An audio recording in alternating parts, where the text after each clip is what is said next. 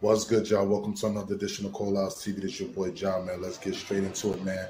Little Durk just came out with this new song called Fuck My Cousin with Little Zay Osama. This is my first time listening to Zay, Little Zay Osama. Yo, son could spit, you know what I mean? From listening to that song, it seemed like he got some real gang shit, some real street beef going on with his cousin. I hope everything works out between him and his cousin and they can squash that beef. You know what I mean? He said the beef is so real you know what I'm saying? Now, if he catches cousin, he might kill that nigga on his brother. And that his auntie was hitting him up on Facebook, asking him and begging him, pleading him to end the beef. You know what I'm saying? Lil Durk, he was very disrespectful. He took shots at FBG Duck. Um, he took shots at Mama Duck. He took shots at FBG Cash. And he took shots at Rooga. He was saying, um, he said in his verse to um, Mama Duck, he was like, I agreed to keep her son's name out my mouth. I ain't lie.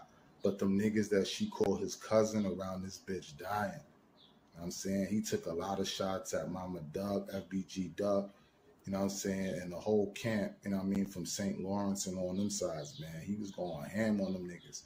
Y'all get in the comment section, man, and let me know what y'all think, man.